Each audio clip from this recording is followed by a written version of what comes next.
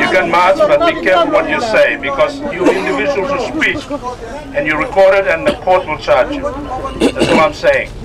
Your right to freedom of speech is presently suspended by the Supreme Court reference.